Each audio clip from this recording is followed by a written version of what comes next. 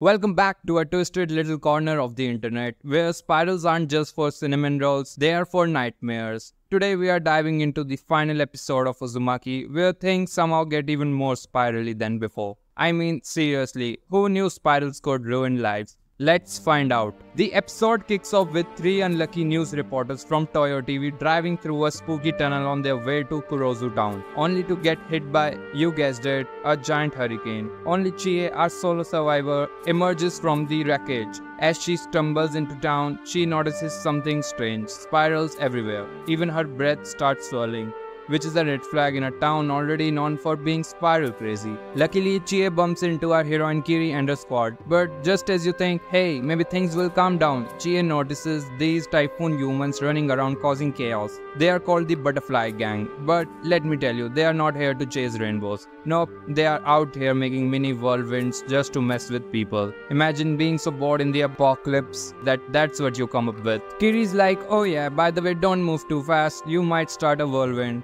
No biggie, just creep along like a snail to avoid total disaster. Apparently, this whole situation is linked to the 6 typhoons that got sucked into a local whirlpool pond, now called Dragonfly Pond.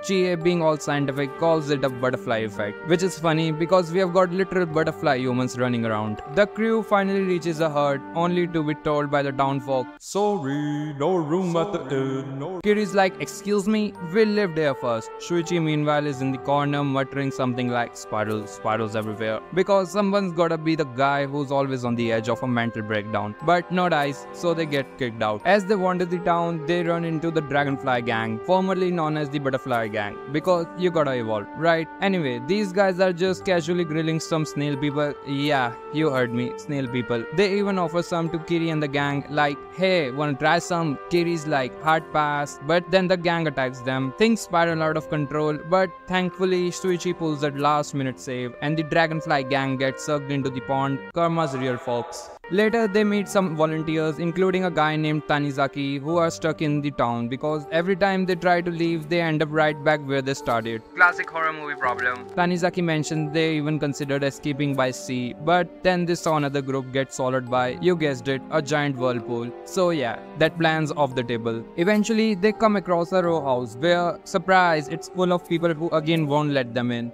When they try to force their way inside, they are greeted by a scene straight out of a nightmare people all tangled up like human pretzels. It's like the spiral curse has turned them into an abstract art piece that you definitely don't want hanging on your wall.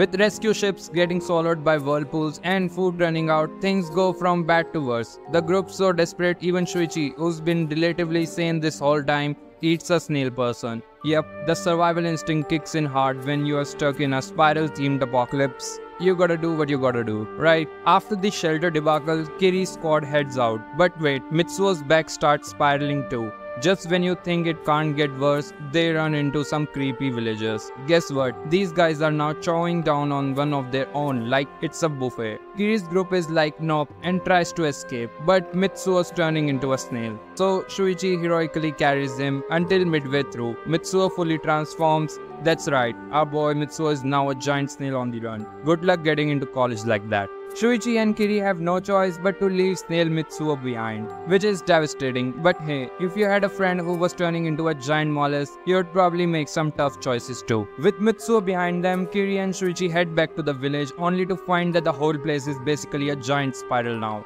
They run into Tanizaki, who casually mentions someone's been making pottery at the center of this madness, because when your village is cursed, why not throw some clay? Kiri, thinking it's her dad, rushes to the center, but plot twist, Chie gets spiral snatched before they can get there. No time to mourn though, because the curse is spiraling out of control. Finally, they reach the epicenter of the spiral curse and find out that these gigantic spiral ruins are actually alive. Yup, just your typical ancient ruins with a mind of their own situation. Shuichi, being the romantic romantic he is, tells Kiri to run and save herself. But Kiri's like, Bitches come and go, bruh. But you know I stay. Bitches come and go, bruh. But you know I stay. And so they embrace their fate as the spiral ruins close in on them and consume the entire village. But wait, there's more. After the credits, we see that years later a new town has popped up right on top of the ruins. New people, new train station, same old spirally curse waiting to ruin lives all over again. And that's a wrap. Finally, this weird and creepy spiral anime has come to an end. Honestly, I don't think I could have watched more of this madness. Uzumaki is hands down the weirdest anime I've ever seen.